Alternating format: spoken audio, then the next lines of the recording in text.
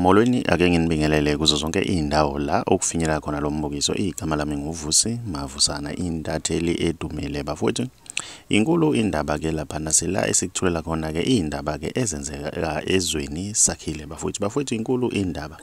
Lihlehlile-ke icala bekumele libe khona-ke laphana ngomhla ka-5 okuyicala eliphakathi-ke kwe-ANC ne-MK okuyiqembu-ke eliholwa unomzane Jacob Zuma bese kuthi ANC iqembu eliholwa-ke uyena-ke uRamaphosa-ke laphana wey'ngane zakwethu. Siyazi ukuthi-ke kunombango-ke wegama-ke leli elisetshenziswa-ke iqembu okuyumkhonto wesizwe-ke laphana wey'ngane zakho leli cala bekumele ukuthi-ke libe ngomhla ka-5 kodwa-ke selihlehlele-ke umhla ka-27-ke laphana wey'ngane zakwethu ngoba sazi ukuthi-ke i-ANC ifake icala-ke laphana ukuthi-ke i-MK isebenzisa ilogo yayo negama-ke labo-ke abayisungulela lona-ke laphana wey'ngane zakwethu. Kodwa-ke esikuzwile-ke laphana iyiphawulela-ke laphana i-MK ibonakala-ke laphana yona-ke izithemba-ke ukuthi-ke konke ekwenzayo ikwenza ngokusemthethweni neqembu ilirejistile-ke ngendlela e-right-ke laphana wey'ngane zakho ngifisa ukuzwa uvo lwakho ukuthi wena ngabe kuthini okwakho ukuphawula ngalolu daba. Ke sidibane laphana kwi-comment section.